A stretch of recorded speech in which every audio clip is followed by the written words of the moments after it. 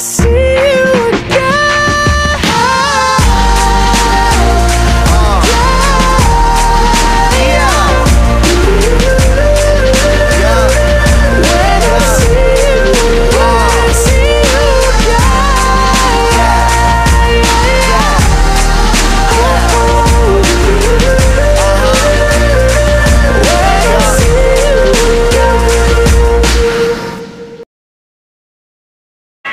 Kali ini kita akan membahas sejarah awal mula Perang Dunia Pertama. Salah satu penyebab meletusnya Perang Dunia Pertama yaitu terbunuhnya Pangeran Franz Ferdinand beserta istrinya. Tewasnya Franz Ferdinand menyebabkan bentrokan diplomatik yang berujung kepada meletusnya Perang Dunia Pertama.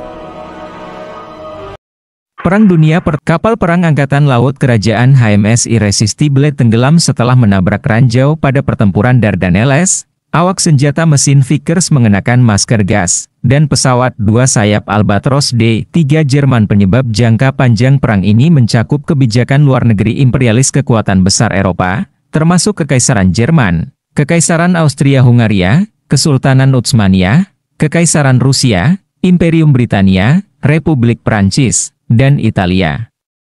Pembunuhan tanggal 28 Juni 1914 terhadap Adipati Agung Franz Ferdinand dari Austria. Pewaris tahta Austria-Hungaria, oleh seorang nasionalis Yugoslavia di Sarajevo, Bosnia, dan Herzegovina adalah pencetus perang ini. Pembunuhan tersebut berujung pada ultimatum Habsburg terhadap kerajaan Serbia.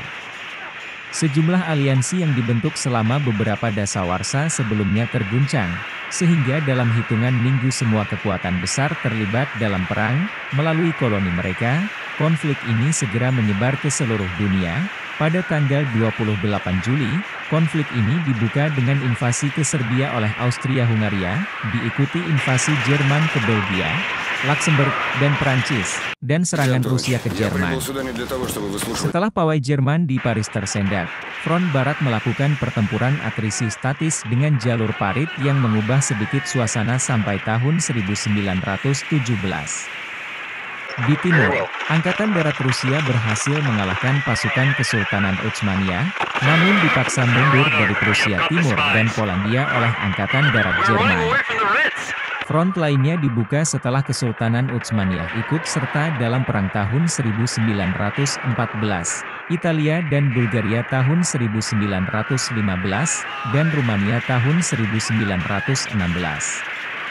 Kekaisaran Rusia runtuh bulan Maret 1917, dan Rusia menarik diri dari perang setelah Revolusi Oktober pada akhir tahun itu. Setelah serangan Jerman di sepanjang front barat tahun 1918, Sekutu memaksa pasukan Jerman mundur dalam serangkaian serangan yang sukses dan pasukan Amerika Serikat mulai memasuki Paris. Jerman, yang bermasalah dengan revolusi pada saat itu, setuju melakukan gencatan senjata pada tanggal 11 November 1918 yang kelak dikenal sebagai Hari Gencatan Senjata. Perang ini berakhir dengan kemenangan di pihak sekutu. Peristiwa di front Britania sama rusuhnya seperti front depan, karena para pihak terlibat berusaha memobilisasi tenaga manusia dan sumber daya ekonomi mereka untuk melakukan perang total. Pada akhir perang, empat kekuatan imperial besar, Kekaisaran Jerman, Rusia, Austria-Hungaria, dan Utsmania, bubar.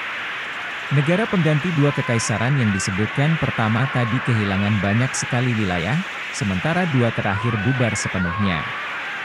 Eropa Tengah terpecah menjadi beberapa negara kecil, Liga Bangsa-Bangsa dibentuk dengan harapan mencegah konflik seperti ini selanjutnya.